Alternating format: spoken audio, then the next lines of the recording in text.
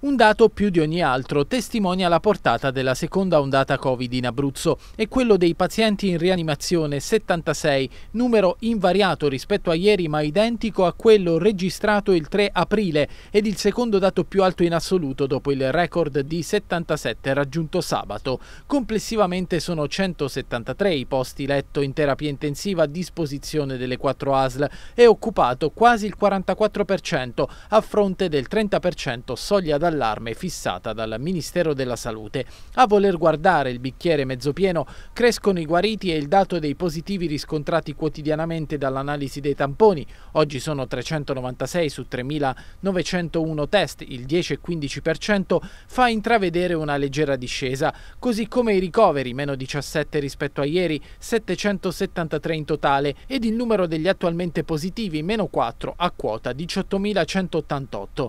Tra le località con con più nuovi casi ci sono l'Aquila con 42 ed Avezzano con 18, 7 i contagi recenti a Pescara e Chieti, solo 3 quelli emersi a Teramo. A livello provinciale il maggior incremento, più 244, riguarda l'Aquilano, dove il totale sale a 9.211. Seguono il Chietino più 87, il Teramano più 48 e il Pescarese più 40. A questi dati si aggiungono 248 pazienti residenti fuori regione e 207 per i quali sono in corso le verifiche sulla provenienza. 17.415 persone, infine, più 13 rispetto a ieri, sono in isolamento domiciliare.